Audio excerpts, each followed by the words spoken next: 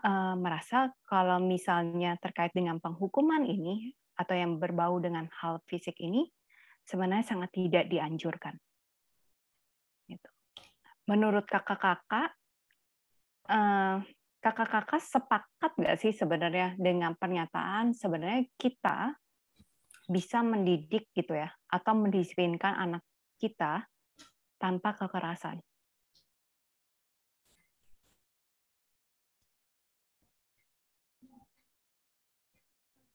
Sepakat dong, Mbak. Oke. Okay. Yang lain kok nggak mau ngomong sih, kita hentikan aja pelatihannya ya, kalau kalian nggak sepakat. Sepakat dong. Sepakat dong. Benar nggak? Kita hentikan pelatihannya kalau kalian nggak sepakat.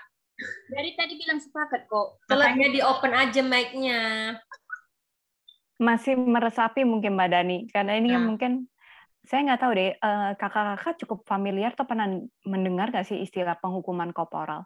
Nggak pernah sih kalau kami. Baru kali ini. Baru kali ini ya. Jadi memang ya menurut saya itu satu hal yang wajar gitu ya. Karena memang ini sebenarnya salah satu teknik gitu untuk mendisiplinkan anak. Tapi kalau misalnya kita mengikuti apa perkembangan zamannya gitu atau beritanya atau penelitiannya, itu ternyata penghukuman korporal ini meskipun mereka dari beberapa generasi ini kan sudah dipakai gitu ya. Dari generasi mungkin dari kakek kita, terus kemudian orang tua kita, dan mungkin bahkan kita gitu melakukan hal itu ke anak kita. Tapi ternyata dari penelitian eh, itu tidak menunjukkan efektivitas untuk kayak mendisiplinkan anak atau membuat anak menampilkan perilaku yang baik. Dan saya ingin mengajak eh, teman-teman atau kakak-kakak di sini sebenarnya untuk kayak melihat gitu ya tindakan disiplin gitu ya kalau kita bicara tentang uh, pembentukan perilaku yang baik gitu ya untuk anak menjadi berlebihan ketika kita sebagai orang dewasa yang melakukan mengakibatkan cedera fisik ke anak dan artinya ada memar, bengkak atau situasi yang memerlukan perhatian medis. Dan hukuman ini bertujuan untuk menanamkan rasa takut pada anak, bukan mengedukasi mereka. Dan ini contohnya seperti kayak misalnya kita ketika anak uh, tidak mengikuti aturan gitu ya di rumah, atau misalnya uh, melawan orang tuanya, atau misalnya memukul adiknya, kita langsung pukul gitu. Atau misalnya kita langsung kayak ngomel-ngomelin dia atau mungkin saja kita nyubit dia atau mungkin kita nusuk dia pakai pensil kayak gitu. Dan ini tujuannya adalah sebenarnya anak ketika kita melakukan itu anak akan takut gitu. Tapi anak tidak menangkap sebenarnya makna di balik perilaku itu. Karena yang dia tahu ketika dia melakukan kesalahan, oke okay, nanti saya akan dipukul. Atau mungkin nanti saya akan disabet sama misalnya sapu lidi. Atau misalnya pakai sabuk. Tapi kita nggak kasih tahu alasan kenapa tindakan itu dilakukan.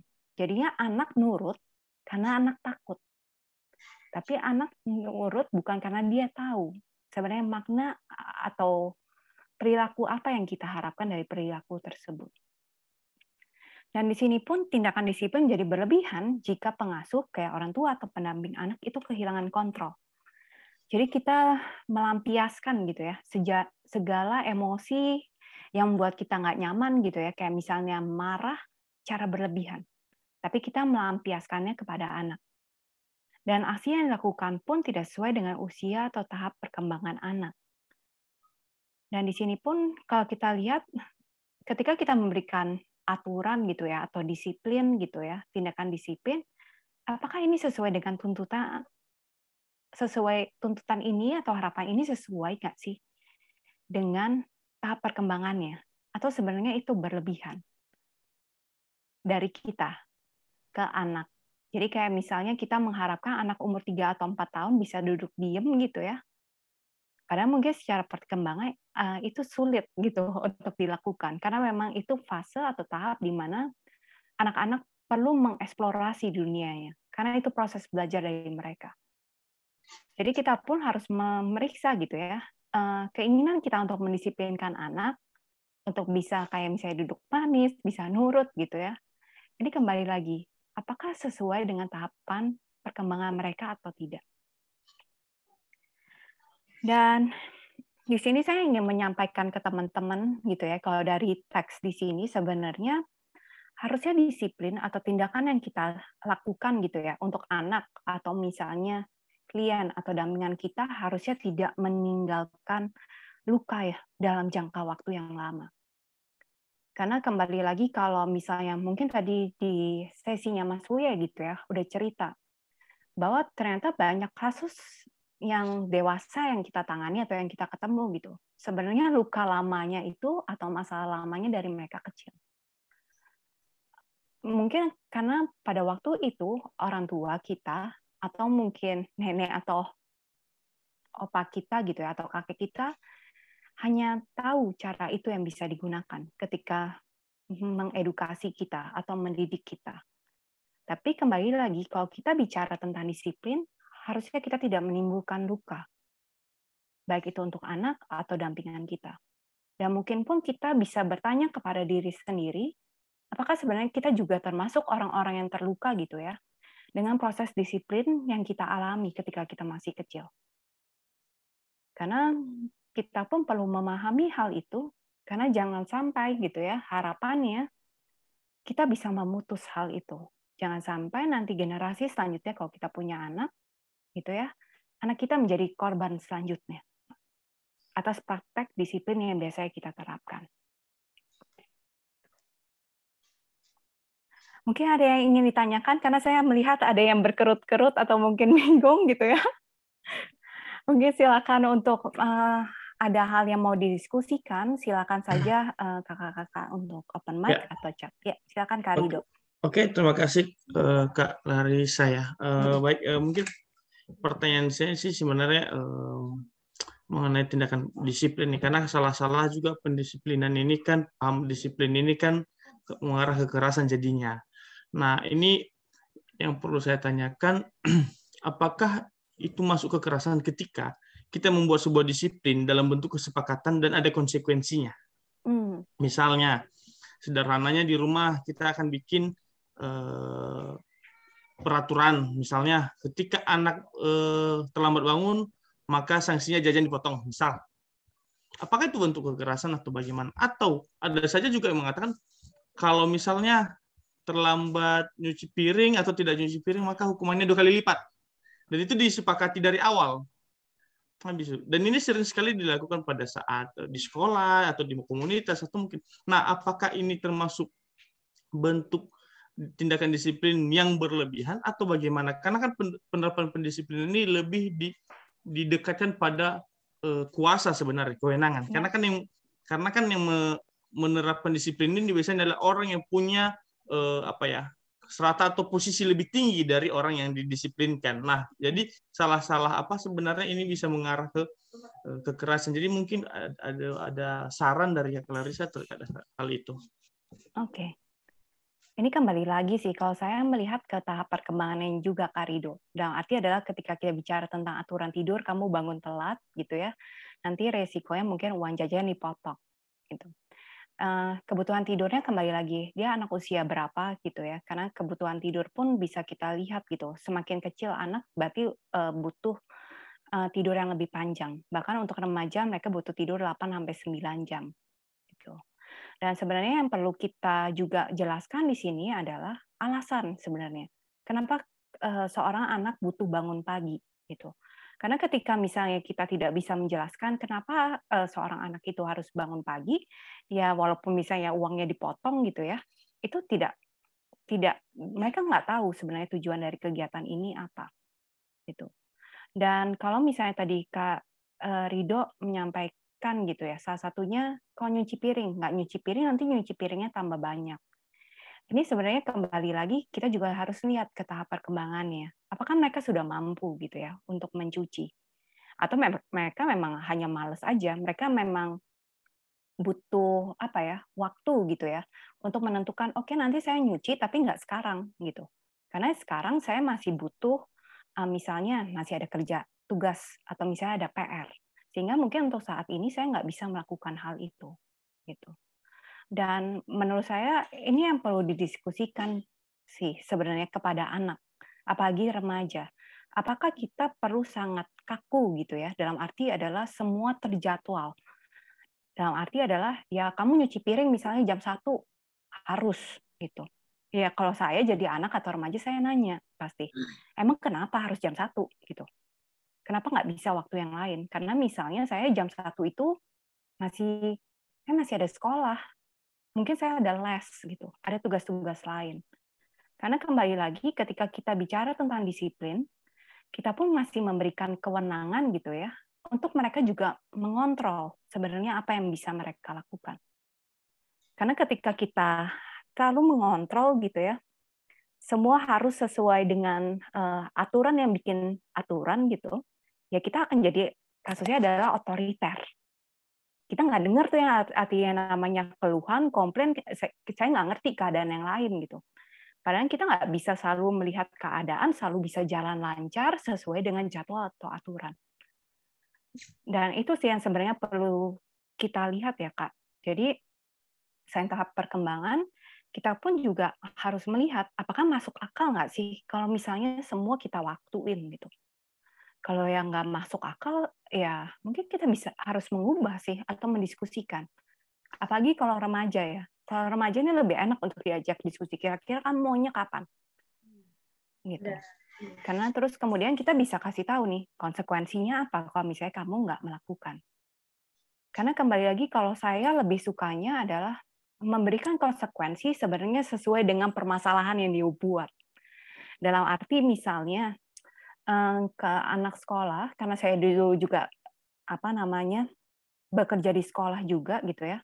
Ketika anak membuat kekacauan di sekolah, kayak misalnya dia merusak barang temannya, saya akhirnya bicara sama orang tuanya, anak ini perlu diajarkan tanggung jawab. Dalam arti ketika dia merusak, dia harus mengganti. Menggantinya adalah dengan gimana? Misalnya anaknya punya uang jajan, berarti uang jajannya harus dipotong. Jadi bentuknya tanggung jawab untuk mengganti hal itu. Gitu. Kalau misalnya seorang anak mukul, bikin anak naik, anak lain nangis gitu ya, yang bisa dilakukan apa konsekuensinya? Berarti kamu harus minta maaf, kamu harus hibur dia gitu ya, supaya misalnya kembali lagi suasana hatinya. Jadi bentuk-bentuknya eh, kita bicara eh, konsekuensinya gitu ya, seperti itu. Jadi bukan kita menghukum kayak mereka kayak kita omel-omelin gitu, atau kita pukulin, atau kita strap berdiri di depan, atau kalau misalnya dia nyoret-nyoret di tembok gitu ya, kalau di sekolah atau di tempat umum kita omel-omelin, enggak. Kayak misalnya saya sih ya udah kamu coret-coret berarti kamu harus bersihin. Gitu. Karena itu bentuk kita ngajarin mereka sebenarnya disiplin adalah kamu harus belajar untuk tanggung jawab dengan apa yang kamu lakukan. Gitu.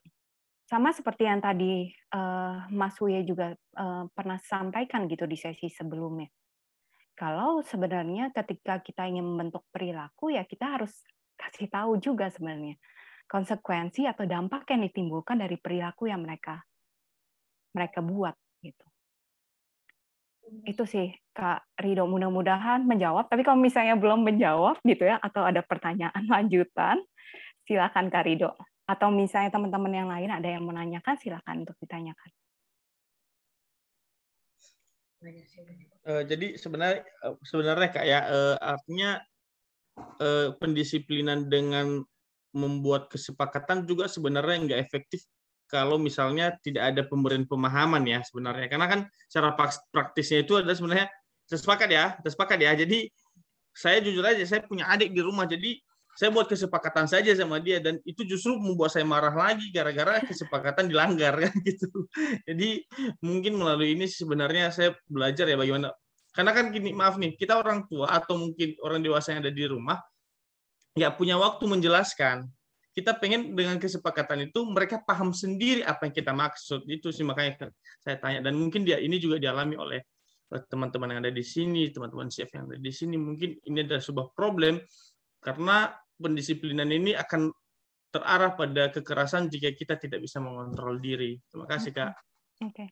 Dan mungkin uh, tambahan lagi ya buat saya, sebenarnya semakin dewasa gitu ya, atau semakin usia anak bertambah gitu ya, kita pun bisa menanyakan kepada mereka, kamu konsekuensinya seperti apa? Gitu. Jadi biar mereka benar-benar berkomitmen ya ketika kita buat aturan. Jangan kita aja yang nentuin gitu. Karena mungkin untuk kita gitu ya, oke okay, kalian nggak boleh main ya, uh, misalnya dalam waktu 30 menit. Ya, udah deh mereka santai aja, mereka nggak peduli gitu 30 menit tuh nggak ada artinya untuk mereka. Atau misalnya mereka akan lebih berasa kayak ah kenapa ya saya milih konsekuensi seperti itu? Kayak misalnya saya memilih konsekuensi ya udah deh kayak misalnya saya um, bermain gadget gitu ya dalam waktu yang sangat lama konsekuensinya mungkin saya satu hari bisa-bisa aja disita karena saya melanggar hal itu gitu. Tapi ya kembali lagi ini tergantung dari apa ya tingkat kedewasaan dari anak-anak yang kita dampingi sih gitu. Ini suatu hal yang sebenarnya bisa kita diskusikan bersama-sama supaya dengan tujuan supaya efek jerahnya lebih kerasa gitu ya. Iya, oh, saya ada ini sih di sini diskusi -hmm. aja. Silakan. Uh, kita kan uh, mendampingi anak tuh. Rido sebenarnya itu adalah pendamping anak dan teman-teman yang lain ini adalah pendamping kelompok perempuan.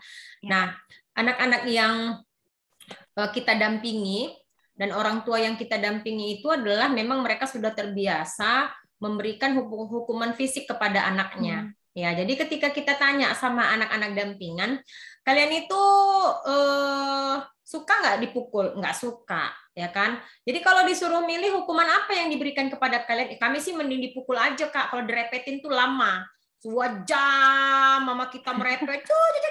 Kalau dipukul plak udah selesai kak. Nah itu itu yang menjadi bahayanya ya kan? Ketika seorang anak itu sudah terbiasa dipukul dari kecil mereka tuh milihnya tuh dipukul. Sama di sekolah juga begitu. Bu pukul aja lah kami bu daripada ibu merepet merepet nah itu yang kami hadapin sekarang kak gitu kita juga bukan hanya ingin me me mengedukasi orang tuanya untuk tidak memukul tapi juga kita di sini punya tanggung jawab juga untuk memberitahukan kepada anak-anak yang sudah menjadi korban kekerasan fisik dari kecil bahwasanya pemukulan itu tidak benar gitu tapi di, di kepala mereka mereka udah bilang pukul aja lah kami kak daripada hmm. lama-lama hmm. direpetin lama kita dengerinnya dua jam kerjaan kita terbengkalai. Nah gitu tuh mereka itu gimana itu mbak?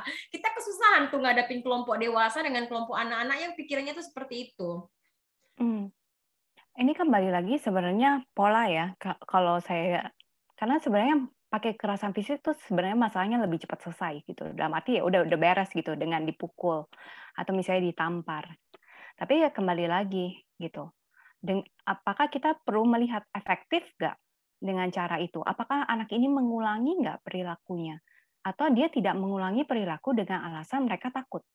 Jadi mereka tidak tahu sebenarnya kenapa kita melarang atau kenapa mereka tidak kita perbolehkan melakukan sesuatu. Karena kembali lagi ketika kita bicara tentang disiplin, ini kan sebenarnya kita ingin membentuk anak atau orang ini gitu supaya memiliki karakter yang baik. Tapi kalau misalnya berbasisnya adalah ketakutan gitu ya, mereka tidak tahu maknanya dari suatu misalnya tindakan yang dilakukan atau konsekuensi yang diberikan. Kembali lagi kalau misalnya kita bicara tentang pembentukan perilaku gitu ya, pasti ada yang namanya reward atau punishment gitu. Ada hukuman, ada hadiah. Yang pasti kalau kita bicara hukuman tuh nggak enak pastinya.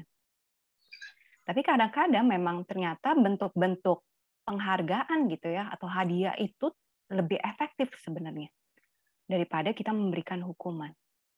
Karena kembali lagi, mungkin saya kembali ke penjelasan yang Mas Wuye kali ya.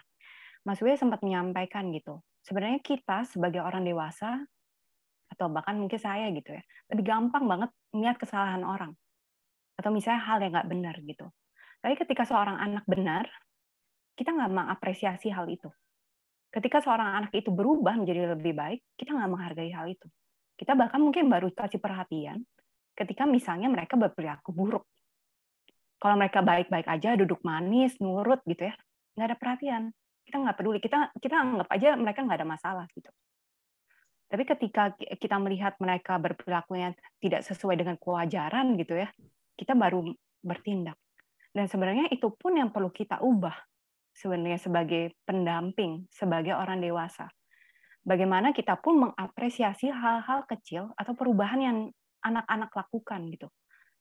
Terutama yang hal yang positif. Karena sering kali kita memang lebih fokusnya gampangnya tuh yang lihat yang negatif aja gitu. Tapi kita nggak ngelihat perubahan atau usaha yang sebenarnya mereka lakukan. Itu yang perlu kita tanamkan sih ke diri kita gitu ya sebagai orang dewasa dan termasuk juga ke anak-anak yang kita dampingi. Gitu sih Kak. Dan ya sih. mungkin Cuman hmm. di sini yang mau saya diskusikan itu adalah hmm. ketika kita ingin menanamkan kepada mereka, ya kan, hmm. bahwasanya uh, tindakan disiplin yang selama ini mereka terima, mereka pukul itu sebenarnya tuh nggak benar, ya. Kita hmm. beritahukan sama mereka apa efeknya segala macam, mereka nantang gitu. Hmm.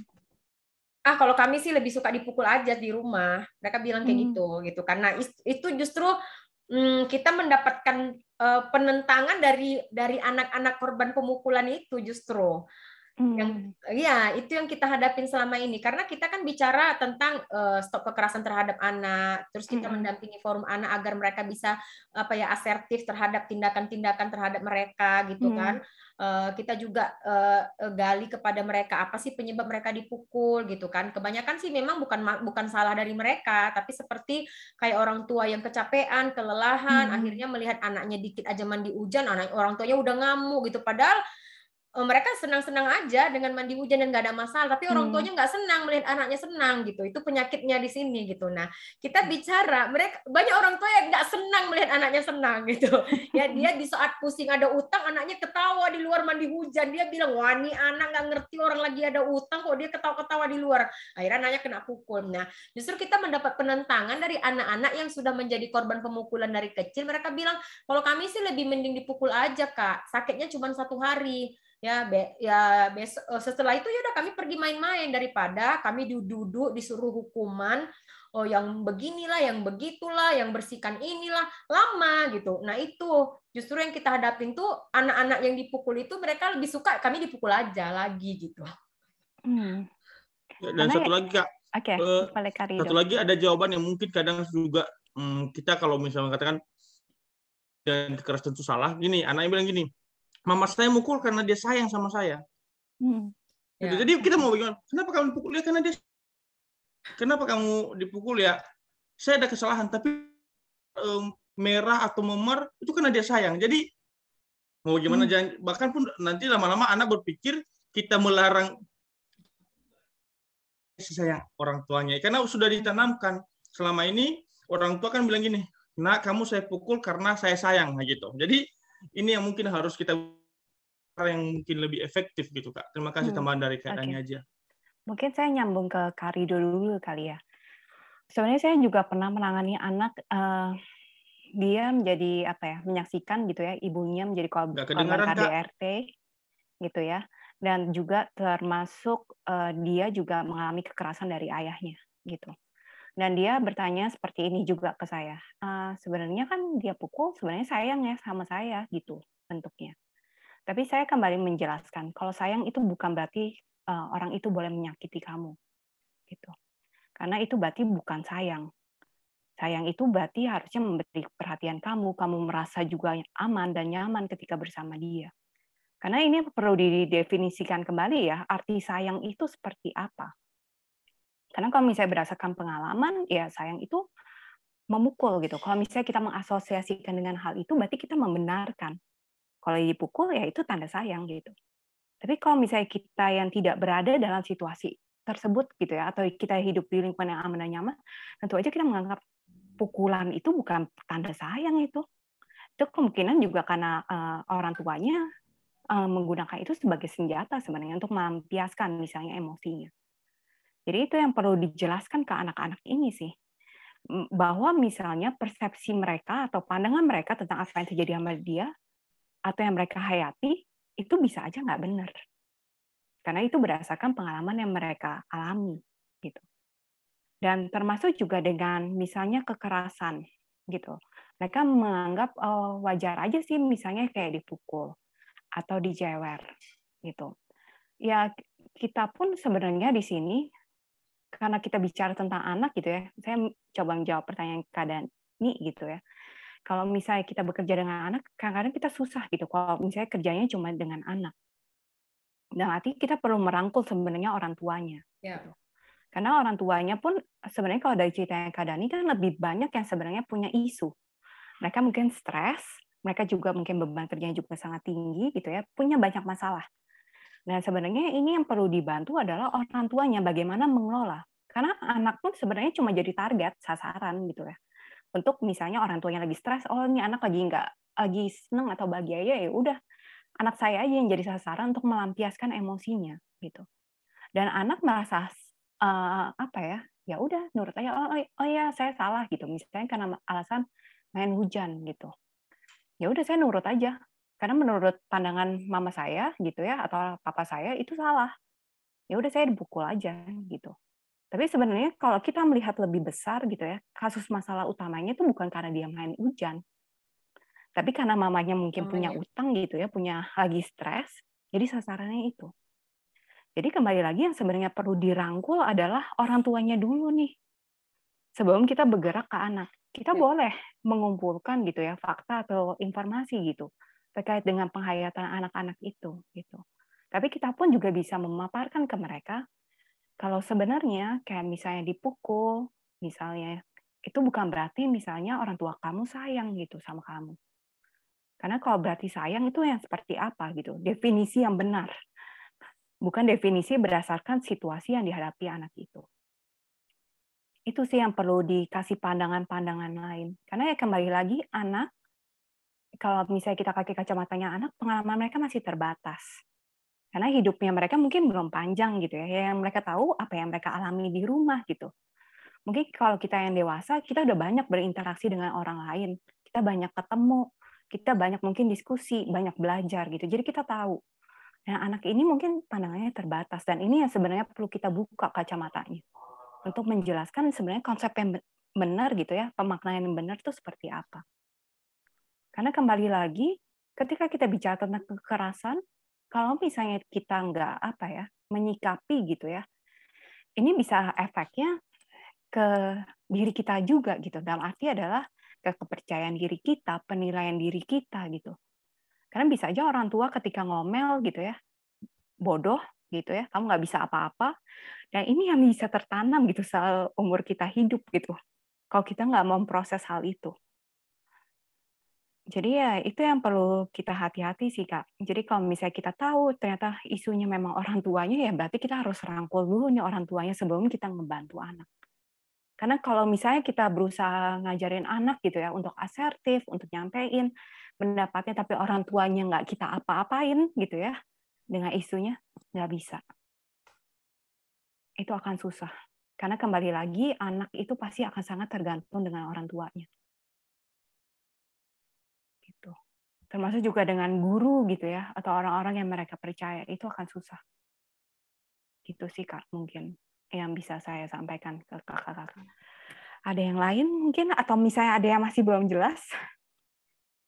Atau mungkin ada yang masih mungkin masih ada yang mengganjal?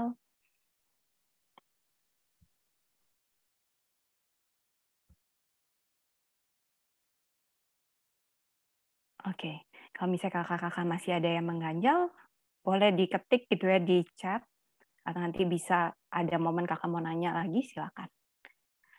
Sekarang kita akan ke slide selanjutnya gitu ya. Oke. Gimana sih kita tahu gitu ya, kakak-kakak tahu seorang anak gitu ya, mengalami kekerasan? Gimana kita tahunya?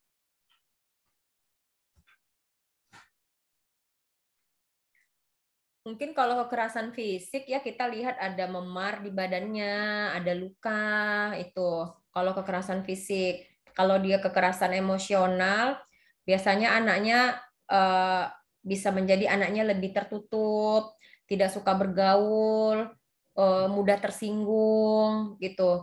Uh, atau ya dia menjadi suka suka gangguin orang lain gitu agar hmm. orang lain ikut menjadi marah gitu itu sih kalau yang yang aku tahu kalau yang penelantaran udah pasti ya dia nggak terurus mungkin bajunya koyak-koyak gitu hmm. uh, kurus kurang kurang gizi kan seperti itu kalau kekerasan seksual hmm, kekerasan seksual sih selama ini aku nggak pernah melihat uh, ciri-cirinya tapi lo udah langsung datang aja ke kantor buat laporan kalau dia terkena kekerasan seksual gitu jadi nggak begitu nggak begitu tahu kalau dia nggak ngelapor kita juga uh, aku nggak pernah tahu kalau dia nggak buat laporan gitu sih.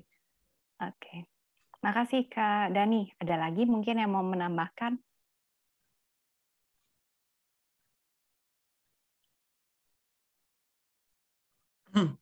Oke, Kak Rido, silakan.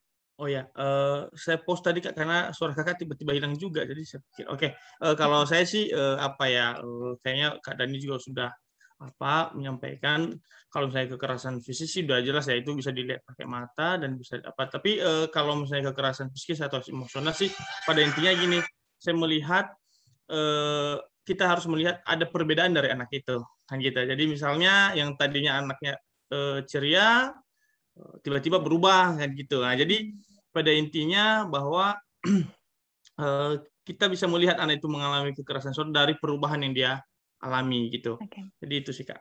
Oke, okay, makasih Kak Rido. Ada lagi yang lain mungkin?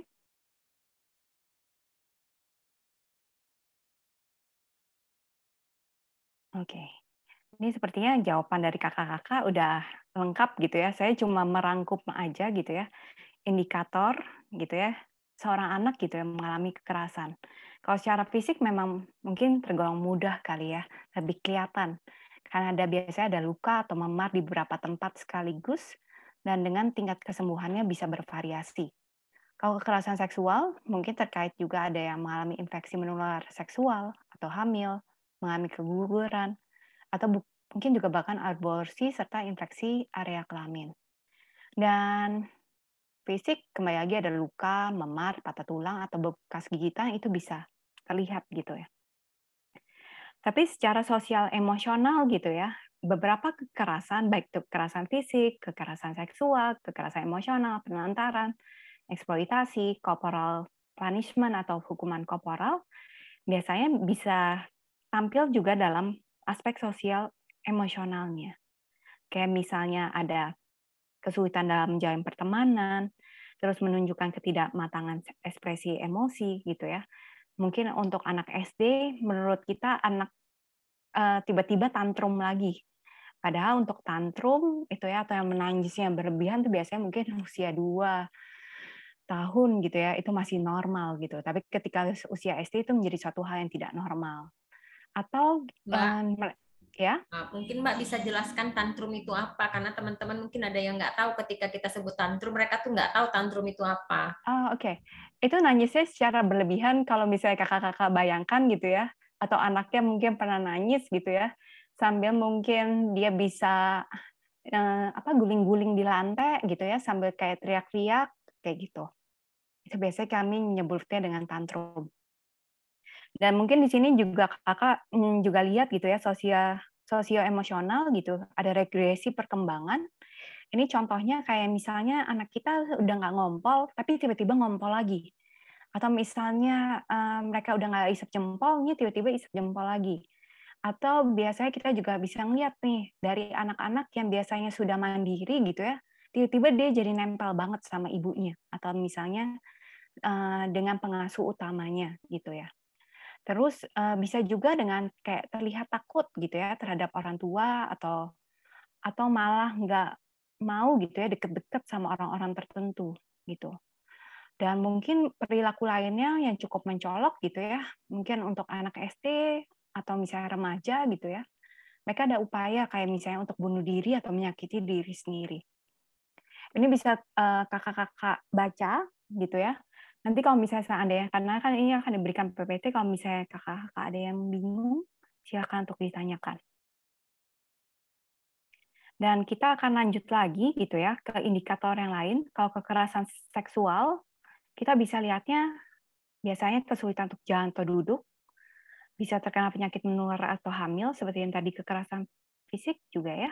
Contoh contoh indikasi fisiknya terus menampilkan usaha yang keras untuk menghindari orang tertentu tanpa alasan yang jelas. Jadi mungkin orang-orang yang memiliki ciri-ciri yang sama dengan pelaku, dia nggak pengen deket-deket atau misalnya ketakutan yang berlebihan. Terus mengeluh sakit pada alat kelamin saat buang air kecil, lalu menunjukkan pengetahuan seksual yang lebih dibandingkan anak seusianya. Dan biasanya anak-anak yang mengalami rasa apa ya kekerasan seksual ini muncul rasa bersalah atau malu gitu atas peristiwa yang mereka alami. Kalau pengabaian bisa kita lihat ya biasanya anak-anak yang tiba-tiba mereka bisa berkeliaran aja main gitu ya tanpa pengawasan orang tua sering nggak masuk sekolah atau telat ke sekolah uh, tidak diobati saat sakit tadi seperti yang juga sudah disampaikan Kak Dani kebersihan juga tidak terjaga atau misalnya tergolong tergolong dekil gitu ya pakaiannya tidak layak terus kalau misalnya kita bisa lihat juga suka mengambil gitu ya tanpa sepengetahuan orang lain untuk mengambil uang atau makanan atau bahkan meminta-minta supaya dia bisa dapat makanan atau uang. Itu. Ini untuk terkait dengan indikator. Ada yang ingin ditanyakan mungkin dari dua slide yang ditampilkan gitu ya. Uh, ini pengalaman sih Mbak. Silakan. Kak. Saya nggak tahu apakah anak saya waktu itu sedang mengalami apa uh, gimana ya ada masalah dengan psikolog dia atau apa tapi saya pernah mengalami waktu itu anak saya Aska yang pertama umur dia sekitar hmm, apa ya 8 tahun dia pernah itu uh, takut mati hmm. jadi uh, kalau dia punya ikan, dia kan piara ikan, dia menjerit-jerit tuh ikan itu harus dibuang dibuang ke sungai, dikembalikan ke mamanya. Dia bilang begitu. Ini ikannya harus dikembalikan ke mamanya, Ma. Karena nanti kalau dia mati, nanti abang kalau di di, di nggak bisa masuk surga karena nanti dia datang uh, dia datang membunuh abang karena abang udah membunuh dia gitu. Nah jadi waktu itu dia ketakutan, sangat ketakutan itu hampir selama uh, seminggu dia itu ketakutan. Nah saya juga nggak tahu apa penyebab ketakutannya. Tapi kalau saya telusurin sih lebih karena uh, neneknya di neneknya waktu itu suka nakut-nakutin dia gitu. Jadi kalau dia nangkap belalang, neneknya itu bilang, "Eh, itu nangkap belalang berdosa ya. Nanti belalangnya itu kalau di neraka di surga itu nanti kamu nggak bisa masuk surga, nanti di dibawa belalangnya ke neraka." Tapi itu menjadi efek untuk dia gitu, Mbak. Padahal itu hanya neneknya tuh ya biasa nenek-nenek bercandain gitu gitu. Saya hampir berhenti kerja waktu itu saya minta berhenti kerja karena saya ingin membantu fokus untuk Aska itu biar dia biar dia jangan seperti itu gitu. Jadi akhirnya uh, saya nggak diizinkan berhenti kerja, saya akhirnya ngambil cuti dua minggu full untuk bersama-sama dengan Aska gitu. Tapi apa maksudnya kenapa bisa jadi seperti itu ya seorang anak-anak padahal dengan omongan yang uh, yang yang kita nggak nyangka tuh akhirnya berefek dengan psikologis dia gitu mbak jadi saya sampai saat itu saya bersujud di kaki mertua saya, neneknya yang bilang belalang itu mati akan menghukum Aska. Saya sampai bersujud di kakinya, itu minta ampun gitu ya. Hmm. Minta ampun sama neneknya, tolong Aska itu dirangkul, jangan ditakut-takutin lagi gitu. Tapi alhamdulillah sih Mbak, setelah dua minggu itu saya full di rumah jagain dia, berangsur-angsur angsur angsur itu hilang. Tapi yang mau saya tanyakan, kenapa bisa ada periode seperti itu gitu Mbak? Fatal itu akibatnya kalau kita orang tua yang kemudian tidak merangkul dia gitu. Mungkin anak saya waktu itu bisa entah menjadi seperti apa gitu. Kalau saya waktu itu tidak memutuskan untuk cuti selama dua minggu gitu. Oke, makasih ya Kak Dani untuk ini berbagi ceritanya gitu ya atau pengalamannya. Sebenarnya kembali lagi ya kalau yang bisa saya sampaikan anak itu memiliki pemahaman yang terbatas gitu ya kita sebagai orang dewasa kita bisa tuh memasukkan apa pun gitu atau cerita apa pun ke mereka. Dan mereka ini uh, meresapinya gitu dantinya kalau apa yang dikatakan oleh neneknya ini emang benar. Kalau misalnya saya kayak gitu nanti saya akan masuk neraka gitu. Karena ya kembali lagi anak-anak uh, itu kalau misalnya kita bisa bayangkan gitu ya mungkin mereka kayak buku gitu ya. Dan ketika ada orang yang memasukkan sesuatu itu kayak buku yang sudah tertulis gitu ada suatu hal yang mereka yakini atau amini gitu. Kalau misalnya apa yang dikatakan orang lain itu benar gitu. Dan itu yang dia hayati ketika ada suatu kejadian, dia menghubungkan apa yang diceritakan oleh si neneknya ini dengan peristiwa yang dia alami. Tapi kembali lagi, ini kan karena mereka juga apa ya, mereka nggak bisa membedakan gitu. Sebenarnya ini nyata atau enggak, itu atau hanya buatan atau imajinasi itu yang sebenarnya perlu kita juga jelaskan ke anak ini gitu karena kan kembali lagi ketika orang tua gitu ya atau misalnya kakek atau orang dewasa gitu ya mereka akan menggunakan berbagai cara gitu yang mereka tahu supaya anak ini misalnya tidak membahayakan binatang yang lain gitu ya kayak misalnya dia uh, menyakiti hewan gitu ya. Ini kembali lagi, memang dia kenapa sampai perlu disakiti gitu. Kita bisa ajak anak ini bicara gitu. Daripada kita menakut-nakuti misalnya anak ini dengan ya nanti kalau misalnya kamu mati gitu ya kayak kata neneknya Aska gitu ya. Ya nanti kamu akan dikejar-kejar sama misalnya si makhluk ini gitu. Kayak sama si ikan atau jangkrik ini. Gitu. Karena itu yang mereka pahami gitu. Padahal kan sebenarnya ya itu memang benar gitu ya. Akhirnya bisa menghentikan perilakunya Aska untuk tidak menyakiti hewan atau misalnya tidak menyiksa. Tapi kembali lagi, tapi itu menimbulkan rasa takut. Atau misalnya ya itu menimbulkan rasa takut yang berlebih pada saat itu untuk Aska. Karena kita pun juga perlu memperhatikan ya, karena ya yang seperti saya sampaikan gitu. Karena anak-anak itu informasi atau pengetahuannya terbatas yang ngasih informasi itu lingkungan sekitarnya. Tapi kalau misalnya informasinya tidak tepat, itu juga resikonya ke anak. Ya. Gitu. Jadi memang yang perlu diluruskan adalah yang benar seperti apa dan memang ketika ada momen-momen yang menimbulkan ketidaknyamanan untuk anak gitu ya. Ya, kita sebagai orang tua atau orang dewasa yang percaya dengan anak adalah ada di sampingnya dia. Untuk menjelaskan kalau mereka saat ini atau situasi ini mereka merasa aman dan kembali lagi kalau misalnya kita melihat oke, okay, kayaknya menurut saya itu biasa aja deh. Gitu ya ketika mendengar itu kayak kayak nggak masuk akal gitu. Ya kembali lagi kita pakai kacamatanya orang dewasa di situ. Padahal di saat itu ya untuk anak-anak itu ngeri banget gitu. Karena ya. yang kita tahu kalau kita bayangin gitu ya, waktu kita kecil juga ditakutin kayak gitu, takut banget. Dan kalau bisa uh, jangan ngelakuin hal itu gitu. Itu sama sih ketika kita punya anak juga. Gitu sih Bu mungkin penjelasannya. Iya sih, berarti berarti memang uh, ada masa periode anak itu kalau orang tua itu memang betul-betul tidak dekat dan tidak memperhatikan anaknya dan kita lost pada momen itu, itu bisa menjadi fase yang bahaya bagi dia. Kalau menurut saya itu ya. seperti itu ya eh, ketika mungkin saya tidak peduli dengan itu bisa saja fase itu akan membuat ke depannya Aska itu menjadi lebih yang bagaimana ya? Mungkin Aska akan menjadi orang yang penakut menjadi orang yang tidak percaya diri. Mungkin seperti itu yang mbak yang terjadi kepada anak-anak di luar sana yang orang tuanya tuh lost dengan fase yang di mana anaknya sangat membutuhkan orang tua di sampingnya gitu.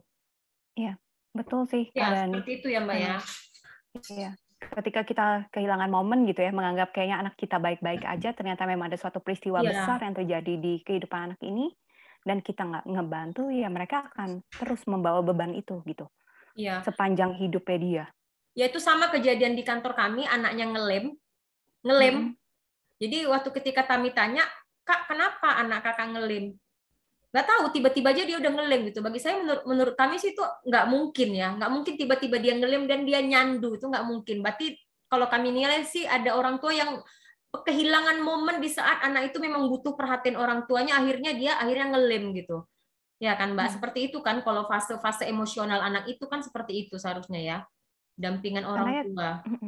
Karena kembali lagi kalau kita bicara tentang perilaku gitu ya pasti ada penyebabnya gitu. iya benar karena ketika dia merasa mungkin ngelem gitu ya, jadi adiksi, kecanduan kayak gitu, ada kemungkinan kebutuhan emosionalnya tidak terpenuhi di situ. Jadi kembali lagi kalau misalnya ingin ditangani lebih serius gitu ya, mencari tahu sebenarnya ada permasalahannya di mana. Iya benar. Gitu ada lagi mungkin dari kakak-kakak yang lain? Atau kalau tidak ada kita lanjut lagi dulu ya kakak-kakak. Dan tadi kita akan bahas gitu ya dampak kekerasan terhadap anak gitu. Kalau kita lihat bisa secara fisik, psikologis, ada perilaku dan sosial di sini ada dalam konteks sosial atau masyarakat gitu ya. Kalau kita bicara tentang fisik ya dampaknya sama seperti yang tadi indikasi atau misalnya tanda-tanda kayak ada luka, memar, kematian bahkan ada kerusakan otak karena trauma di kepala, bisa juga patah tulang, dan otak gagal untuk terbentuk, berfungsi, dan bertumbuh dengan semestinya. Dan ini kemudian yang terakhir adalah jangka panjang gitu. Diabetes, serangan jantung, masalah penglihatan, tekanan darah tinggi, stroke, kanker itu bisa gitu. Yang menyertai.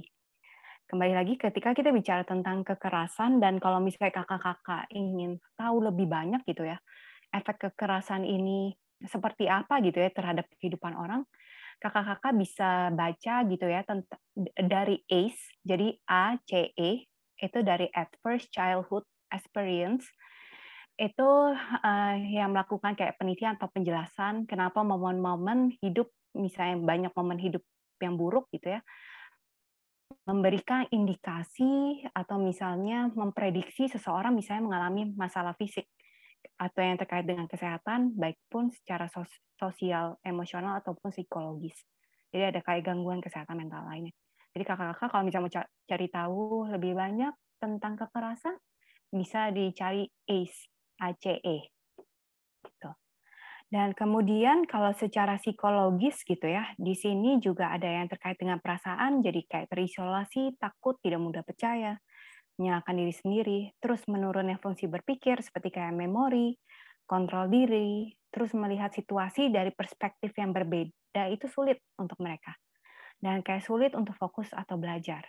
Dan ini rentan juga mengalami gangguan kesehatan mental kayak kecemasan, depresi, atau gangguan stres pasca trauma.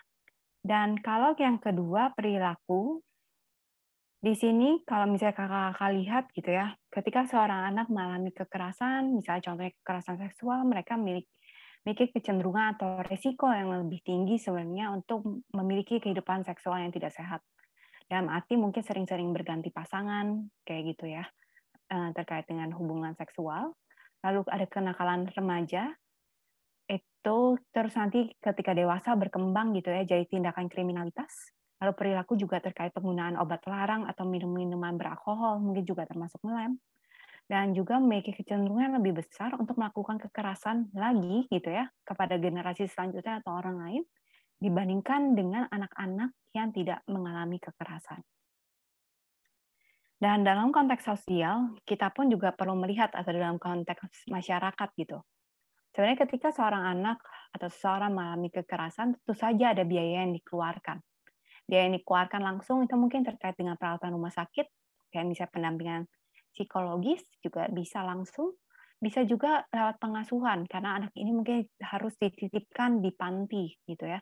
Karena kita menganggap orang tuanya tidak kompeten untuk mengasuh anaknya atau cenderung melakukan kekerasan kepada anaknya. Tidak langsungnya perawatan jangka panjang. Misalnya anak ini jadi cacat untuk seumur hidup. Atau misalnya anak-anak ini jadi uh, dia rentan, jadi harus minum obat-obatan sepanjang hidupnya. Dan anak-anak yang mengalami kekerasan memiliki resiko juga uh, menur menurunnya produktivitas ketika di sekolah atau bekerja. Karena kembali lagi kalau kita lihat gitu ya, kekerasan ini efeknya bisa ke psikologis, termasuk juga dengan uh, daya pikir kayak misalnya memori, eh, konsentrasi gitu ya, fokus, perhatian. Ketika dia tidak bisa fokus, tidak bisa perhatian di kelas, kemudian tidak bisa mengingat dengan baik, tentu saja itu akan menghambat mereka secara akademis. Dan ketika akademis bermasalah, kemungkinan juga akan bermasalah untuk kayak misalnya untuk mendapatkan pekerjaan ke depannya. Dan kalau misalnya anak-anak yang menjadi korban Eh, dari kekerasan kita tidak tangani gitu ya, mereka pun beresiko misalnya untuk jadi kriminalitas. Ketika jadi kriminalitas masuk penjara, tentu saja penjara pun harus mengeluarkan biaya lagi. Kita harus kasih mereka makan, terus kemungkinan ya mungkin ada pendidikan-pendidikan yang supaya menyiapkan mereka untuk siap untuk kembali ke masyarakat. Jadi kalau kita bicara tentang konteks kekerasan ini, ternyata dampaknya nggak cuma ke anak ini sendiri gitu ya, nggak cuma ke keluarga juga, tapi bagaimana juga efeknya ini bahkan ke masyarakat dan mungkin juga kalau misalnya dalam skala yang lebih luas, dampaknya ini bisa dirasakan juga oleh negara. Gitu ya. Ada yang ingin ditanyakan dulu kakak-kakak sebelum kita ngomong yang lain?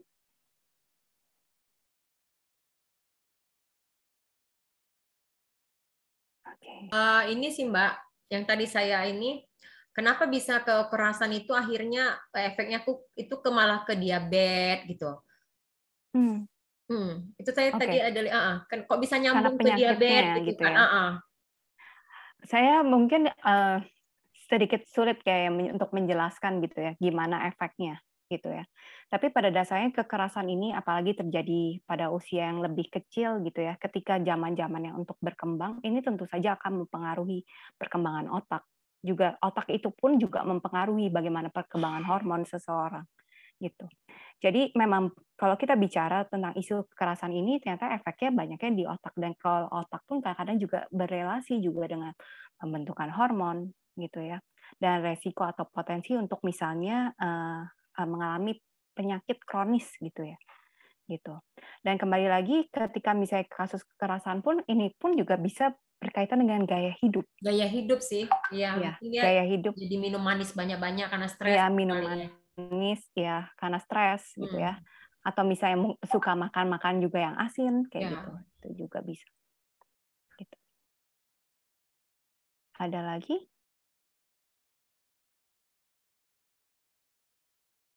Oke, kalau nggak ada lagi, ini kesimpulan sih ya, mungkin lo kita ingat bersama-sama gitu ya. Hal penting mengenai dampak kekerasan terhadap anak, kalau dampaknya pada anak sangat beragam dan tidak seragam gitu ya maksudnya sangat beragam dan tidak seragam ini ya bisa aja untuk beberapa anak yang memiliki faktor pendukung yang baik ya dia bisa melalui dengan baik-baik aja gitu dan tidak memunculkan masalah apa pun. Tapi ada juga yang ternyata masalahnya lebih banyak gitu ya, masalah secara psikologis. Mungkin jadi juga lebih minder atau ada keinginan untuk bunuh diri dan sebagainya. Dan yang perlu kita sadari juga bersama, ada yang dampaknya segera dan ada dampaknya tertunda. Dampaknya segera misalnya setelah kejadian dia langsung muncul tuh. Misalnya perilaku menarik diri gitu ya. Atau perubahan perilaku yang bisa langsung kelihatan. Tapi juga ada dampak yang tertunda gitu. Mungkin aja itu ketika kejadian dia langsung memori atau ingatan kita langsung menekan itu ke paling bawah. Tapi baru muncul ketika kita kepicu sama suatu peristiwa. Jadi teringat lagi sehingga reaksi respon kita itu jadi tertunda gitu ya. Dan lalu sebenarnya ini dapat dicegah sebenarnya berbagai permasalahan atau dampak yang timbul. Ya dengan caranya ya nggak melakukan kekerasan kepada anak ini gitu. Dan kemudian kalau misalnya udah kejadian gimana gitu ya, yang pada dasarnya ya setiap orang saya yakin gitu ya kalau kita mau ngecek pasti kita pernah mengalami kekerasan baik itu kekerasan emosional kah atau kekerasan fisik gitu ya atau bahkan mungkin seksual eksploitasi atau mungkin penelantaran gitu. Uh, yang perlu kita lakukan adalah membimbing sebenarnya supaya anak ini bisa pulih dan memberikan contoh sebenarnya relasi yang sehat tanpa kekerasan di masa depan itu seperti apa. Dan kemudian yang perlu kita percayai gitu ya ke diri kita sendiri termasuk juga uh, diri kita anak-anak yang kita dampingi gitu ya, kita memiliki resiliensi. Dalam arti ada resiliensi ini kita punya daya kemampuan gitu ya untuk bangkit lagi setelah menghadapi suatu peristiwa yang nggak nyaman gitu. Kayak kita misalnya bayangin bola basket gitu ya, ketika dipantulkan ke bawah, dia bisa melenting lagi ke atas. Itu seperti resiliensi. Ketika kita jatuh gitu ya, kita ada kemampuan kok sebenarnya untuk bisa bangkit gitu. Dan kemampuan bangkit dari trauma ini sebenarnya juga butuh bantuan dan dukungan yang tepat dari lingkungan sekitar. Jadi kayaknya saya bilang kalau sama Mas Wuya mungkin juga sama Mbak Ika gitu ya di sini, kita merasa sulit banget gitu ya. Kalau misalnya eh, membantu seorang anak untuk pulih tapi lingkungannya tidak mendukung. Dan arti adalah keluarganya tidak suportif atau mungkin keluarga yang cenderung memang uh, yang menimbulkan luka-luka seperti itu kepada anak-anak ini. Jadi memang ketika kita bicara tentang kekerasan, kita bicara tentang pemulihan, kita membutuhkan dukungan dari berbagai pihak untuk membantu seorang anak bisa pulih itu dari pengalaman yang mereka hadapi. Itu sih, ini yang terkait dengan dampak. Eh, mungkin ada yang ingin ditanyakan sebelum kita lanjut ke bagian lain.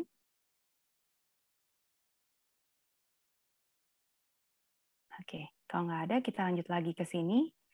Ah, ini uh, di mana dan siapa pelaku kekerasan pada anak-anak? Tadi bilang ya semua uh, peserta tadi kakak-kakak udah jawab biasanya pelakunya yang kita kenal dan kejadian bisa di semua tempat gitu ya kita nggak pernah tahu di mana terjadinya bisa di mana aja tergantung si pelakunya gitu ya dan dapat dilakukan oleh siapa pun yang mengenal anak yaitu bisa keluarga atau kerabat, tetangga, pihak sekolah, kayak guru, teman, petugas sekolah, bahkan uh, murid atau teman anak kita sendiri gitu ya untuk melakukan perundungan tentu aja juga bisa. Dan di sini juga teman permainan termasuk juga anak tetangga ada orang asing supir penjemput dari sekolah pengasuh dan sebagainya. Dan memang menurut data gitu ya penelitian ya mayoritas gitu ya pelaku kekerasan ini adalah orang-orang terdekat atau yang anak-anak pernah kenal atau mereka kenal dengan baik dan di sini saya sebenarnya ingin mengajak eh, kakak-kakak juga, termasuk saya gitu ya, untuk mengingatkan ke diri kita sendiri juga gitu. Sebenarnya kita juga berpotensi loh untuk melakukan kekerasan. Atau mungkin kalau misalnya istilah sekarang kita mungkin loh untuk jadi toxic atau misalnya beracun untuk orang lain. Itu mungkin banget gitu. Dan kita perlu menyadari hal itu gitu. Dan sebenarnya kita pun bisa melihat ciri-ciri ke diri kita sendiri gitu ketika kita merasa kayak kayak saya nggak bisa deh menghentikan rasa marah saya atau melihat sedikit anak saya ya aja rasanya kita pengen marah gitu. Itu sebenarnya udah kayak satu tanda-tanda sebenarnya ada apa dengan kamu atau dengan kita gitu. Terus merasa tidak terhubung secara emosional dengan anak gitu yang ngerasa kalau bisa udah deh jangan deket-deket atau saya kepengen sendirian aja saya nggak suka dengar suara misalnya berisik anak nangis gitu ya atau teriak-teriak itu udah menjadi satu pertanda. Dan kemudian ketika kita bicara sebagai orang tua, kita pun ada keinginan gitu ya, pasti kalau yang normal memenuhi kebutuhan sehari-hari anaknya, baik itu misalnya pakaian, minuman gitu ya, atau pendampingan. Tapi untuk orang-orang yang mungkin ada potensi untuk melakukan perilaku kekerasan, itu susah banget untuk melakukan hal itu. Karena mereka penuh ada gejolak di dalam dirinya sendiri. Dan ada juga orang lain yang menyampaikan gitu ke kita gitu mengingat kok kamu eh, biasanya mungkin sabar gitu ya saya lihat kok kamu berubah gitu. Jadi mungkin lebih cepat marah atau kok saya lihat kamu sekarang lebih menjaga jarak gitu atau nggak mau terhubung dengan anak kamu gitu. Jadi respon-respon yang kita dapat dari orang lain pun juga sebenarnya menjadi tanda gitu ya atau penilaian mengenai apa yang terjadi dengan diri kita sendiri gitu. Dan di bagian ini saya ingin mengajak sih untuk kakak-kakak di sini gitu ya karena kebetulan kakak-kakak di sini sudah punya anak juga gitu ya atau mendampingi anak ya menjadi orang tua merupakan pengalaman menyenangkan bermakna gitu ya tapi kadang-kadang pasti membuat kewalahan atau pusing gitu ya atau kadang-kadang uh, kita bisa bilang kayak uh, melebihi batas gitu ya kadang-kadang atau kita rasanya kalau dipencet ini kayak ini anak udah berlebihan deh perilakunya. Tapi yang perlu kita lakukan gitu ya sebelum kita menyakiti anak kita, sebelum kita marahin anak kita gitu ya atau sebelum kita mukul ada hal yang bisa kita lakukan untuk mencegah diri kita sebenarnya untuk menyakiti anak yang kita dampingi atau anak kita sendiri. Cara yang bisa kita lakukan adalah pertama mengenali perasaan yang kita rasakan. Jadi ya mungkin kalau awalnya mungkin saya capek gitu ya. Jadi ketika saya ngerasa capek, saya dengar anak nangis atau misalnya anak teriak-teriak aja itu udah bikin saya bete atau marah gitu. Oke, terima aja gitu. Kalau kita merasa kita misalnya lagi capek. Oke. Dan langkah selanjutnya adalah sebenarnya menyingkir dari situasi itu. Kita tahu nih, misalnya berisik banget, kita terganggu dengan hal itu, oke mungkin kita perlu pindah ruangan atau kita butuh masuk ke dalam kamar kita sendiri atau masuk ke ruang yang mungkin kita tidak perlu mendengar gitu ya anak kita teriak-teriak atau nangis-nangis kayak gitu atau misalnya ketawa-ketawa. Dan langkah selanjutnya yang perlu kita lakukan adalah tidak merespon saat saat kita lagi marah gitu ke anak. Karena kembali lagi kalau kita ingat gitu ya ketika kita marah ya pasti yang akan keluar adalah ada suara tinggi kata-kata yang nggak enak gitu ya. Sebelum kita melakukan lebih baik kita menghindar dulu. Dan kita memutuskan untuk menahan diri kita untuk merespon. Dan kemudian gunakan sumber daya yang kakak-kakak punya gitu untuk mengelola perasaan.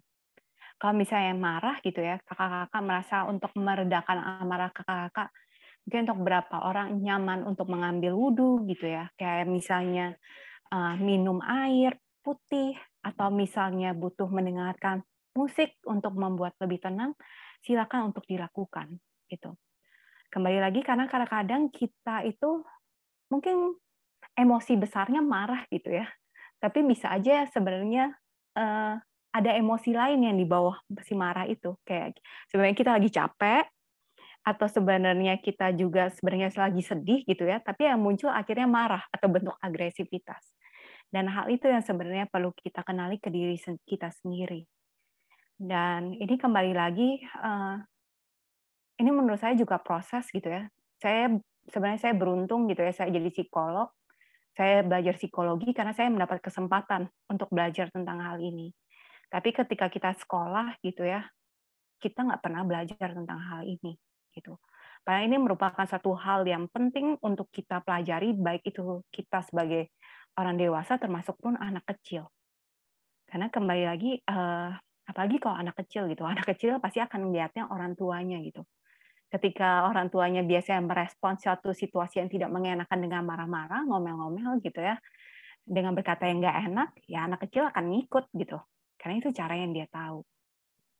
Tuh. Jadi ya kita perlu berkaca gitu ya dan melihat sebenarnya ke diri kita.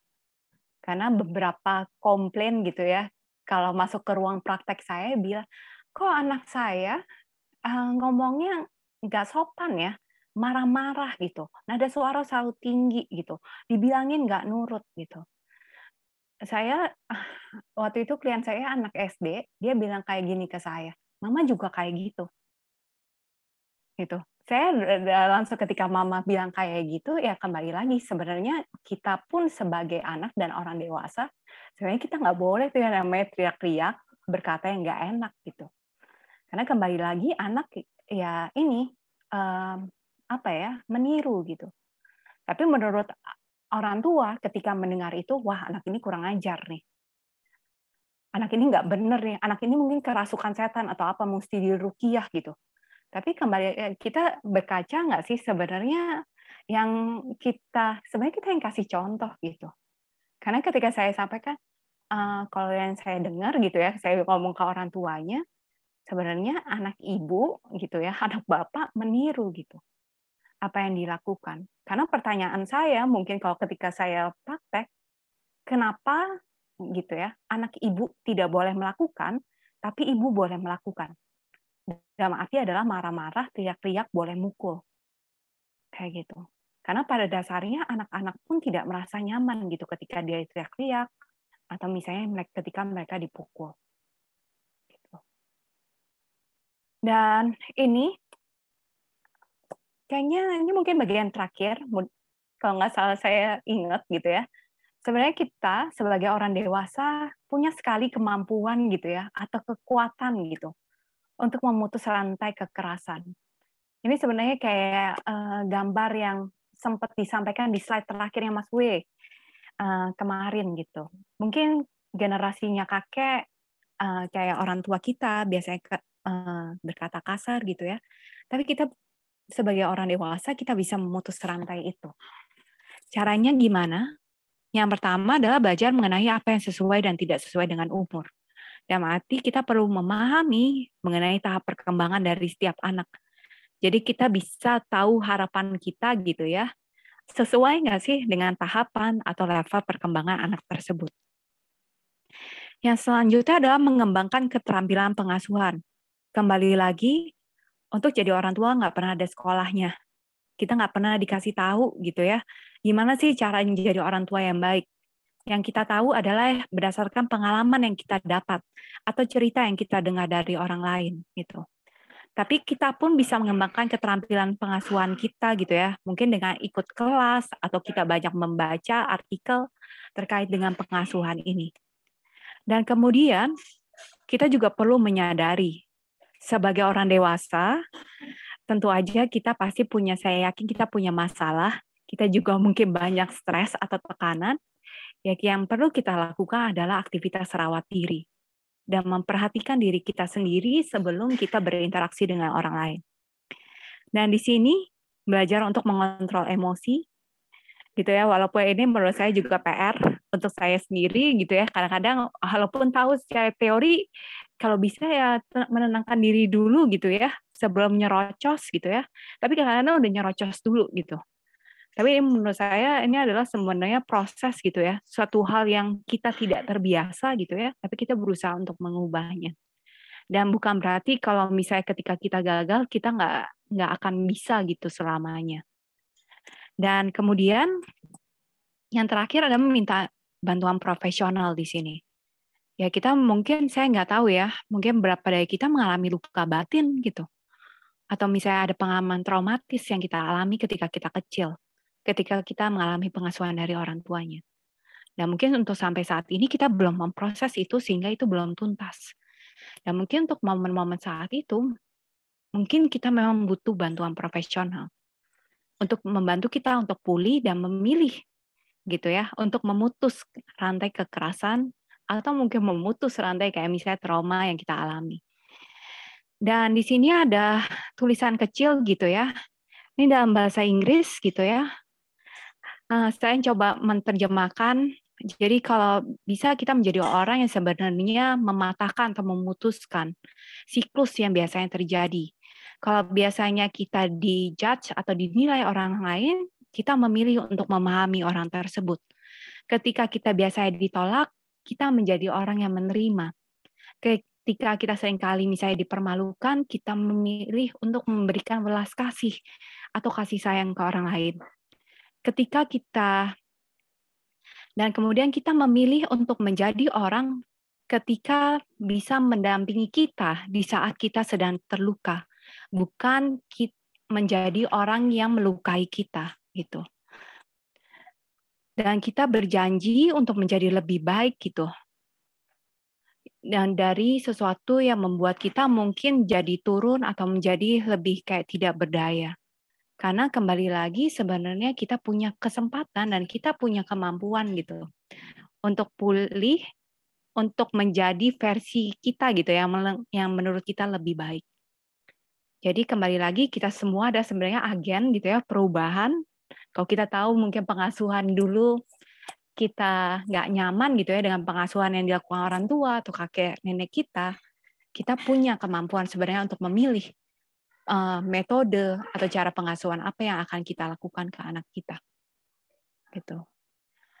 Itu sih yang mungkin saya mau sampaikan ke kakak-kakak. Dan apakah ada yang ingin ditanyakan dulu atau yang ada yang mungkin ada yang mengganjal atau hal yang ingin didiskusikan?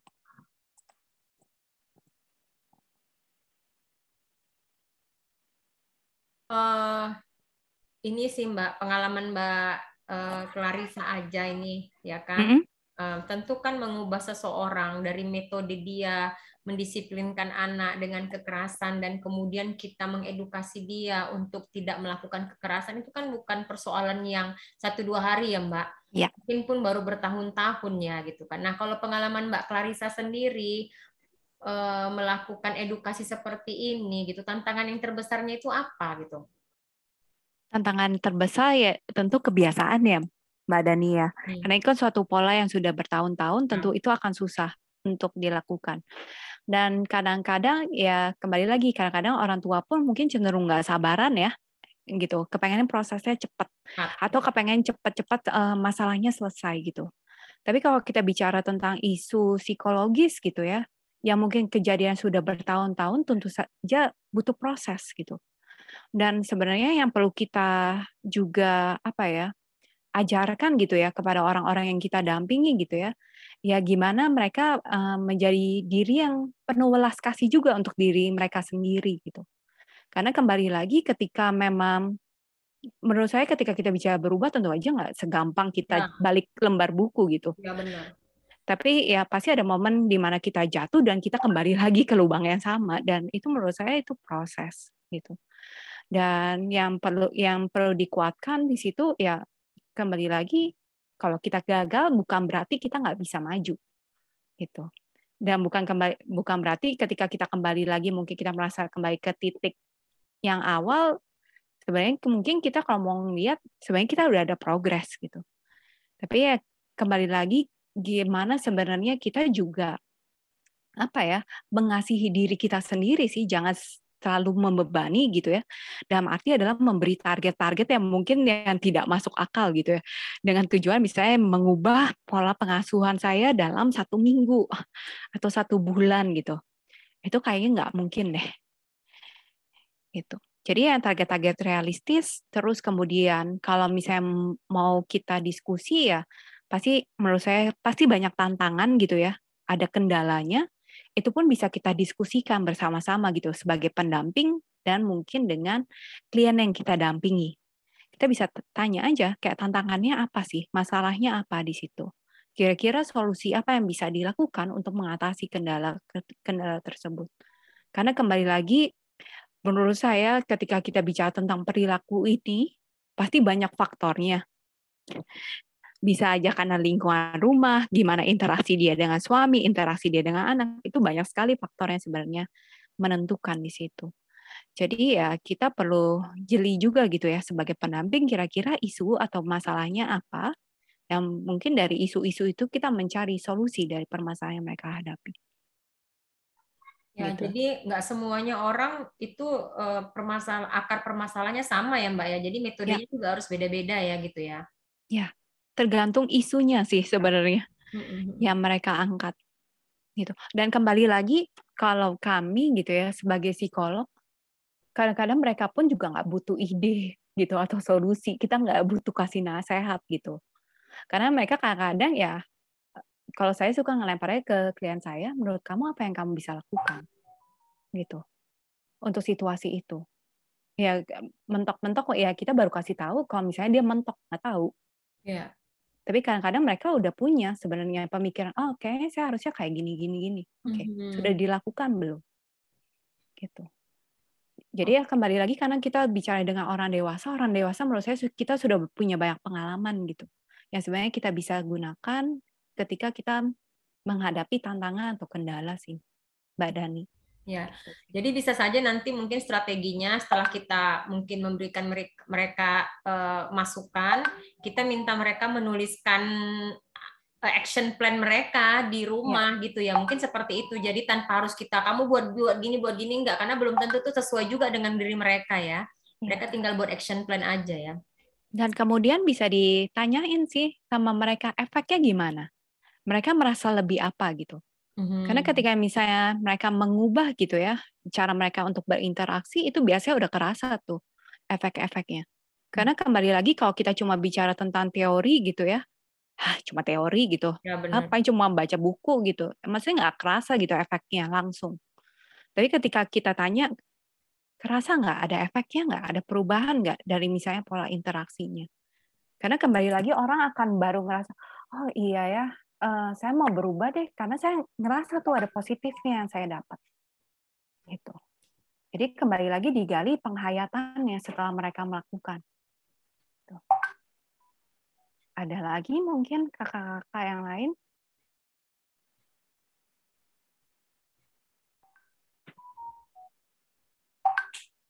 Oke, ini saya akan menyambung sedikit gitu ya Mungkin kakak-kakak mungkin juga ketika mendampingi ada kesempatan ketemu sama anak yang mengalami kekerasan atau pengabaian.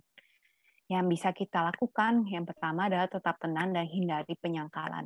Karena kan biasanya kita suka heboh gitu ya. Apa kamu mengalami kekerasan seksual? Kok bisa kayak gitu? Atau kayak, ah nggak mungkin lah kamu masa mengalami kekerasan seksual gitu.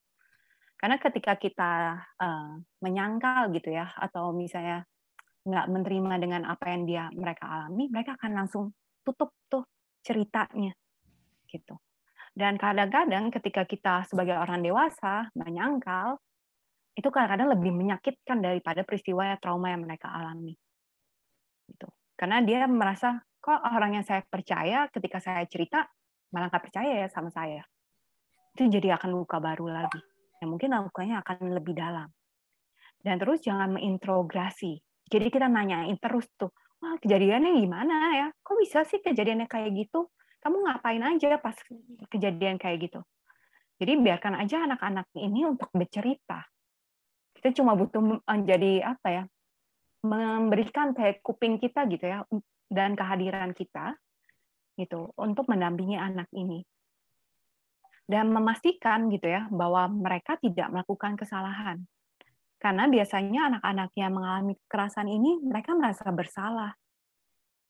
Oh, mungkin karena te, uh, ini kali ya, karena tadi saya mungkin nggak nurut, jadinya saya dipukul kayak gitu. Jadi sebenarnya kembali lagi kalau kita bicara kekerasan, anak nggak pernah salah. Yang salah sebenarnya orang dewasa. Kenapa dia nggak bisa ngontrol perilakunya? Dan yang paling penting dilakukan adalah utamakan keselamatan si anak ini gitu. Yang penting adalah kita bisa membawa mereka ke tempat yang aman. Dan ini slide saya yang terakhir kayaknya. Jadi kekerasan terhadap perempuan dan anak ini ada SAPA gitu ya, sahabat perempuan dan anak. Ini dikeluarkan oleh Kementerian Pemberdayaan Perempuan dan Anak di 129 dan juga bisa dikontak lewat WhatsApp gitu ya untuk 081111129129. Jadi kalau misalnya kakak-kakak atau mungkin ada anak-anak dampingan yang kakak-kakak rasa mungkin mengalami kekerasan, silakan untuk mengontak bagian ini. Itu sih presentasi dari saya untuk sore hari ini. Apakah ada yang ingin ditanyakan? Atau ada yang ingin didiskusikan? Ayo silakan teman-teman CF-CF. Saya stop share. Masalah-masalah yang di, di, di dampingan selama ini. Jadi gini Mbak, kami tuh hmm, kan sekarang kan uh, sedang ini ya sedang memberikan uh, pendidikan juga untuk perempuan-perempuan dampingan kami hmm. gitu kan. Nah jadi uh, tentang hak anak, tentang kekerasan terhadap anak. Nah bahkan ada satu orang yang curhat dia tuh sampai makan bodrek. Ah dia itu sampai makan bodrek gara-gara untuk menahan dirinya agar tidak mukul anaknya gitu. Coba Mbak bayangkan saking kan editnya itu dia uh, memukul anaknya gitu. Ya. Jadi itu yang kami itu ketawa tuh eh, dan pendampingnya tuh Mbak Katira si F itu dia tuh pendampingnya ya. Jadi dia memang ya benar yang kalian sampaikan itu kata ibu itu ya. Saya akan mencoba untuk menahan diri untuk tidak memukul anak saya gitu. Tapi ketika kami eh, kami minta kami minta lagi pendapatnya pertemuan minggu depan dia bilang aduh berat nih saya sampai harus makan bodrek agar saya tidak pening dan tidak mukul anak saya gitu. Nah, kesulitan-kesulitan itulah yang yang kami hadapin di lapangan. Makanya akhirnya kami meminta pelatihan ini agar kami juga tahu trik trik-triknya nanti untuk bisa membantu mereka menghadapi masalah. Dari keinginan mereka sih mereka memang tahu memukul anak itu tuh nggak bagus gitu, tapi hmm. mereka tuh nggak punya pengetahuan untuk mengganti pemukulan itu dengan hal-hal lain yang yang ya yang positif gitu. Nah, sementara kami juga sebagai pendamping uh, ya cuman ngasih-ngasih saran aja gitu. Akhirnya dia bilang ya aku udah memenuhi saran karena akhirnya aku minum bodrek gitu. akhirnya aku minum bodrek. Itu sih Mbak. Jadi memang uh, eh, seperti yang saya bilang tadi ini bukan instan ya Mbak ya. Saya juga kasih mau sebenarnya mau negaskan juga sama teman-teman di lapangan gitu. Jadi teman-teman juga jangan berharap ketika teman-teman satu kali memberikan pelatihan besoknya mereka tuh berubah tuh nggak begitu gitu. Jadi ini memang butuh diulang-ulang gitu ya, meminta progres dari mereka ya kan. Eh, dan dan progresnya itu pun mungkin nggak sekaligus akan akan apa ya akan akan hasilnya akan bagus pasti tidak seperti itu juga ya kan mbak Iya, benar. Hmm. Uh, Mbak Dani gitu ya. Karena yang kembali lagi sebenarnya mungkin kalau yang jadi pertanyaan ke saya, apa yang membuat sebenarnya ibu ini ingin memukul anaknya gitu? Emang apa yang anak ini lakukan gitu sampai ibunya ingin memukul? Karena bisa saja ternyata memang isunya memang di ibunya gitu. Ibunya. Dia ada masalah dalam pengontrolan emosi mungkin aja gitu. Karena ya, bisa aja ada isu-isu lain yang sebenarnya butuh ditelusuri gitu ya mungkin saja ada momen yang memang uh, untuk orang tua ini memang butuh bantuan profesional gitu. Karena memang butuh penanganan secara klinis gitu. betul betul. Dan mungkin kita tidak bisa cukup kayak mendampingi gitu ya um, hanya kayak melalui program pelatihan saja gitu. Karena ada isu yang lain. Mungkin aja kayak misalnya uh, ibu ini kepengen mukul anaknya karena mungkin mengingatkan dia sama orang yang dia nggak suka atau dia benci banget atau orang yang bikin dia trauma gitu. Jadi kayak pelampiasan gitu ya? Iya. Dan kembali lagi sebenarnya ya setiap orang pasti perilakunya ada hal yang melatar belakang gitu dan itu yang perlu sebenarnya kita cari tahu sih ya benar selepas karena menurut saya pengetahuan perlu kita berikan gitu ya karena kembali lagi yang seperti saya sampaikan kita nggak pernah ada sekolah untuk jadi orang tua gitu ya melakukan pengasuhan tapi kembali lagi tapi ada isu-isu lain yang mungkin menyertai gitu ya. Sehingga untuk pendidikan saja mungkin untuk kayak informasi tidak cukup. Jadi memang butuh ada penanganan lain yang bisa kita tawarkan. Mm-hmm. itu sih mbak Dani. Ya sih. Saya baru nyadar ini sekarang udah jam 3 ya. Sebenarnya kayak harusnya selesai setengah tiga kan bukan? Bonus sih mbak bonus. Iya kayak bonus oke mbak teman-teman ada lagi nggak kan besok kita ini uh, lanjutnya hari Senin ya mbak ya Iya, kita uh, lanjutnya hari Senin. Hmm. Mungkin saya minta tolong sama Mas Wuye kayaknya ada uh, podcast gitu singkat aja kayak hanya lima soal gitu ya. ya Silakan teman-teman isi dulu. Setelah okay. itu uh, kita kelasnya sudah bubar dan kita akan kembali ketemu lagi di hari Senin. Ya. Baik, ini link ini ya, link untuk postesnya ya, Bapak dan Ibu, kakak sekalian ini ada di kolom chat. Silakan dibuka. Untuk CF silakan dibuka grup ya. Aku udah kirim ke grup linknya ya. CF.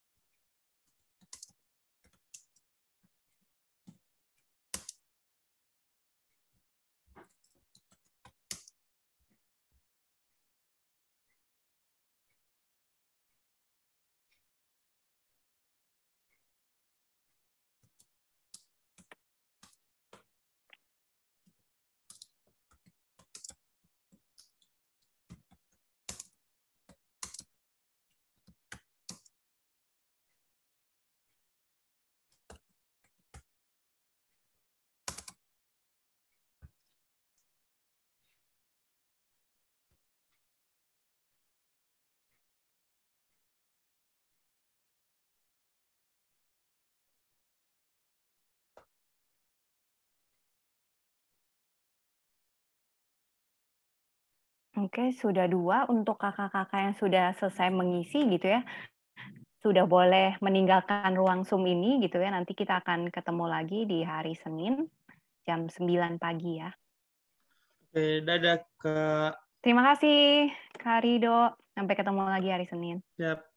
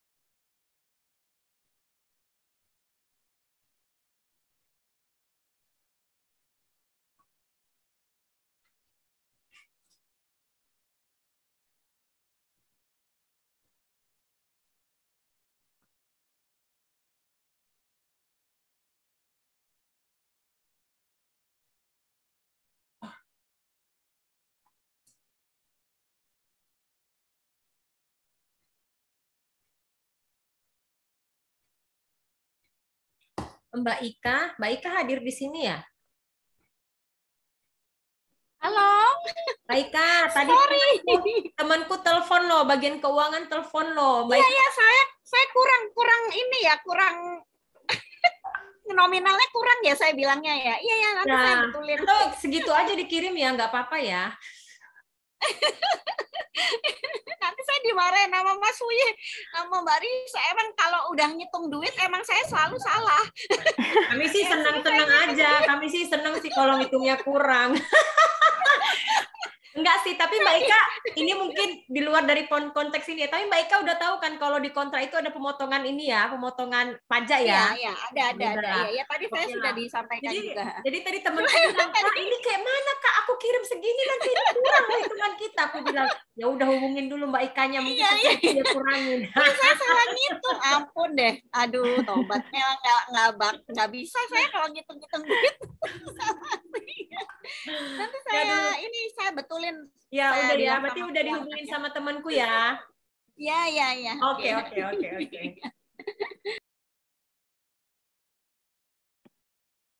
Ya, kami masih menunggu dua lagi ya untuk post testnya.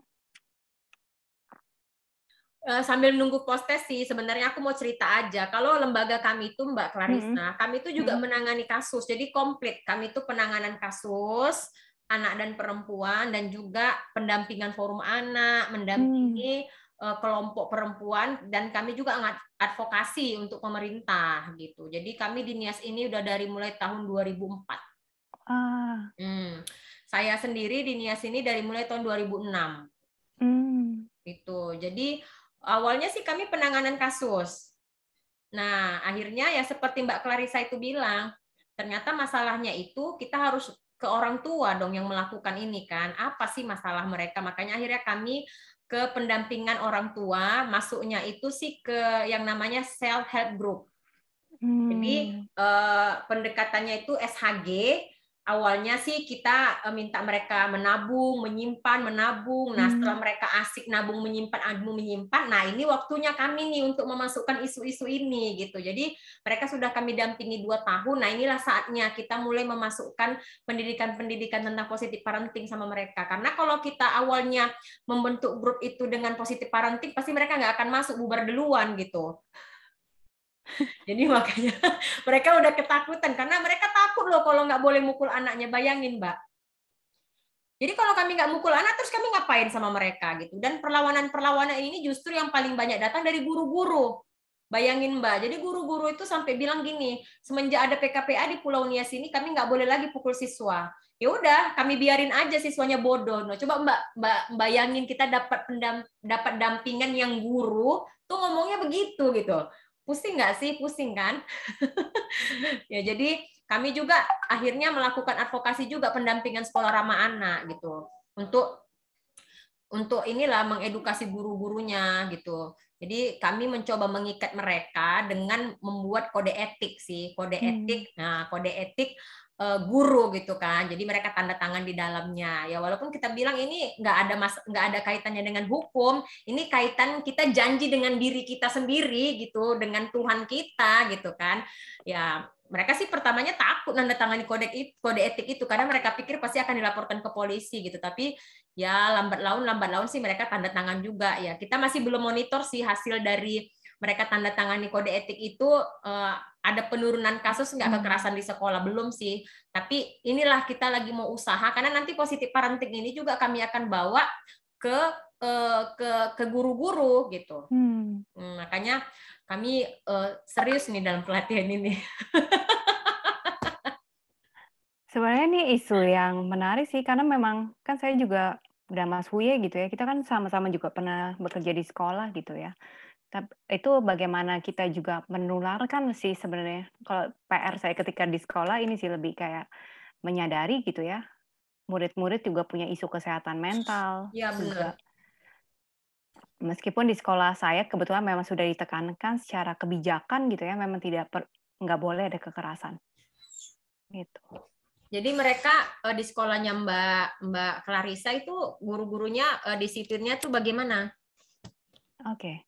Ya kembali lagi sih sebenarnya saya ngajarinnya kalau yang saya terapkan adalah istilahnya gitu ya disiplin positif gitu ya hmm. um, Kak Dani gitu. Jadi ya kembali lagi kalau misalnya saya lebih kayak kalau anak merusak barang berarti dia harus ganti. Ganti dan, barangnya gitu ya. ya. Dan itu dikomunikasikan dengan orang tua gitu. Terus kalau misalnya dia misalnya kayak nyoret-nyoret ya berarti dia harus dia bersihin, bersihin temboknya gitu ya. Iya, karena itu kan sebenarnya kayak uh, ada faktor resiko. Kayak misalnya dia ganggu temannya bikin nangis, jadi dia harus minta maaf, dia harus menghibur, kayak misalnya harus berteman dengan anak-anak itu gitu. Dan sebenarnya juga sambil menjelaskan ya, kenapa misalnya tidak boleh dilakukan gitu. Iya sih, saya juga sering gitu kalau misalnya pelatihan-pelatihan, kalau misalnya terlambat eh, atau eh, bukunya ketinggalan gitu. Ya disuruh aja ngambil bukunya kenapa harus di strap dipukul gitu hmm. seperti itu gitu kan.